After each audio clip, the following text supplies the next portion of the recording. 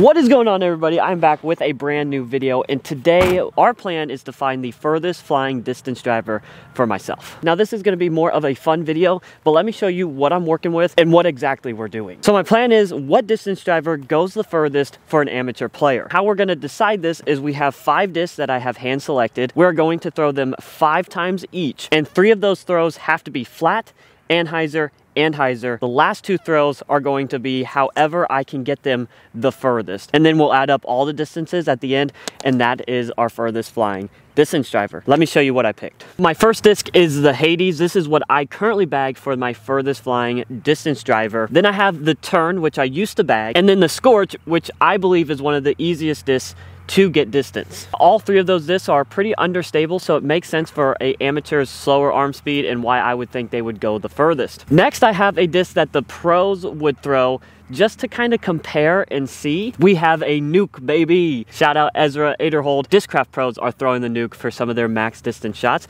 So I thought it'd be interesting to compare the distance with this and see if there's really any comparison there. And lastly, you hear all the time people are saying how, oh, you don't have the arm speed for that disc. Okay, so I brought out a slower fairway driver, the Discmania Essence, which I believe is one of the furthest fairway drivers that I have bagged. Let's get right into this and see what kind of distances we can achieve today. I do want to clarify, I have a rangefinder, so this is not going to be UDisc distances. This should be pretty accurate. We're going to throw from my bag. We're going to start out with some flat releases. We kind of have a helping tailwind today. Oh yeah. I don't think that's very far, but you know, first throws of the day.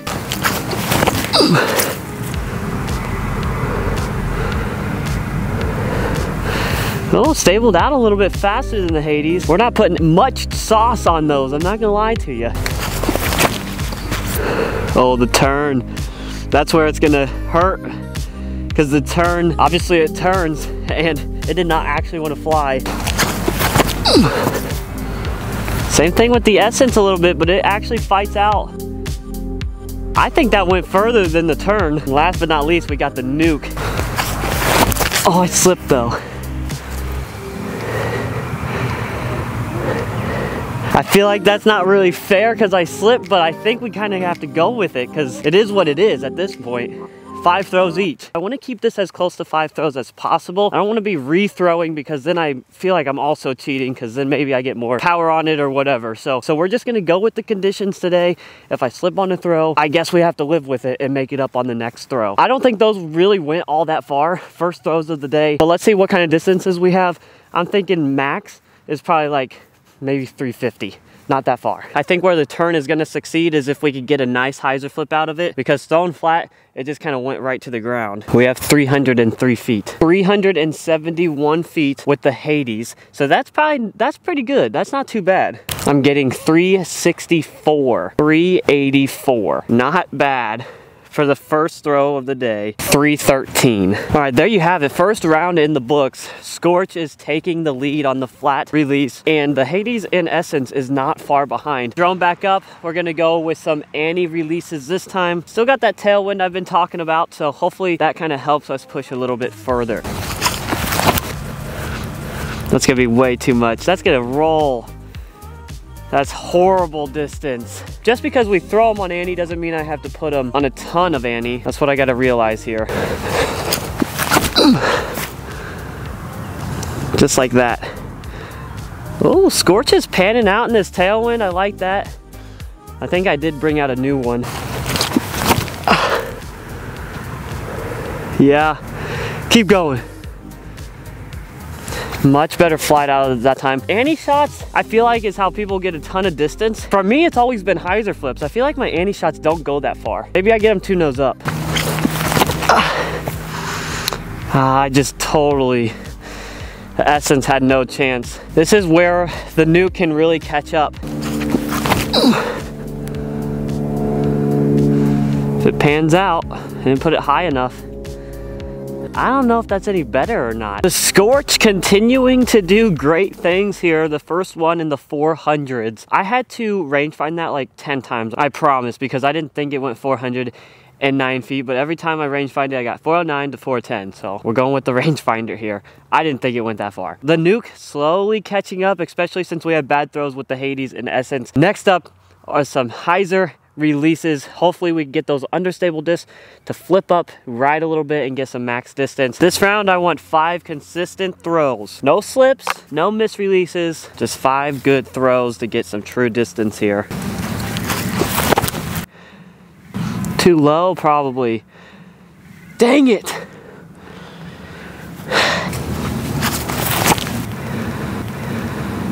Oh, that's probably my worst one yet with the Scorch. I threw it on Hyzer, but I threw it like a spike Hyzer and, and not a driven flip up Hyzer. Oh, got some turn out of it. I grunted really hard, that's why. It kind of just stayed right though. It never really fought out of it. I like it, I like it. Come on, start fighting though. How are you staying right? Oh, I got it to flip up the flat. So it's gonna actually go a little bit. Not very far though. Yeah, but that's better than I anticipated. Oh boy, so the Tern, even though it didn't come back, 399 feet. Next, 371 for the nuke. You had some misfires with the Scorch and Hades. Hades 329, Scorch 325, and the Essence 366 so it is hanging in there 360 it looks like is my max distance for the essence so far but the next two throws i can throw them any angle i want in order to get it to go the furthest possible. What's hurting me the most right now is just misreleases. When I have good releases, I feel like they're going a decent ways. You know, I'm happy with 380 to 400. When I hit 400, I get excited. Turn, turn, turn, turn, turn, turn. All right, that's not a bad Hades rip. I still think it was a little too nose up. Scorch is turning more. Does it have the fade still pushing forward? oh, too much Hyzer with the Tern. Oh man. That's why I wanted to do a full competition to throw those angles first and then throw whatever I could to get there. Because a part of this, you have to factor in that I'm an amateur and bad releases, slips, things like that are just gonna happen on the course all the time. So I wanted to try to make this semi-fair.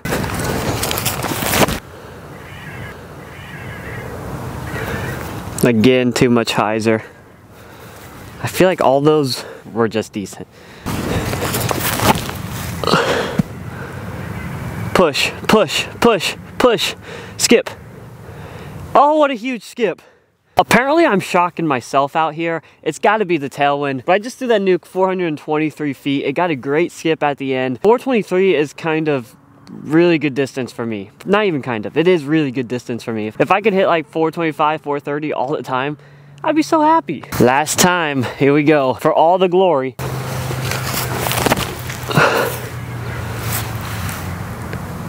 That's such a line drive. Just haven't been able to get the height and the turn that I need for the Hades today. Same thing with the Scorch. Two times in a row. Are you serious? Wide open field, I still can't get the disc in the air. There we go, finally. I'm guessing that'll go about 360, 350. Oh, I hit the goalpost, it went backwards. I have no idea how far this actually needs to go, but I really feel like the nuke could win it. Great Annie that I put it on last time. It needs to skip though. Uh, not nearly the distance as I got it last time. All right, let's tally these up. All right, guys, I had to get out of the cold. I was freezing out there, so I came back, did the numbers, and by my surprise, the nuke actually pulled it out, which is kind of insane. As I'm looking at the numbers, what seems to have happened was since I made it mandatory to throw certain angles, it seems like the nuke did better you can see when you look at the Hades, the Tern, the more understable stuff, there is always like at least one number that either the disc turned all the way over, so it couldn't hold the line. So in those instances, the Nuke was just more of the consistent disc because it was nice and stable and it could hold any line I really put it on. And in fact, the only number that was below 370 is the one that I slipped on. So that flat release probably still would have went 370 feet, which is kind of insane. The Essence it was doing pretty good. 350 feet, it seemed like 366 feet was pretty much my max out of that. And I would say that's pretty good because some of my high speed drivers only went like 370 feet. Pretty interesting, kind of cool looking at the numbers but really, I think the Nuke was just more consistent on every angle, and that's why it won today. So very interesting. Let me know what you guys think down below in the comment section. Like I said, this was kind of just a fun thing I had in my mind that I wanted to try. So that's why we did it today. Hope you guys enjoyed. Make sure to hit that like and subscribe button, and we will see you in the next one.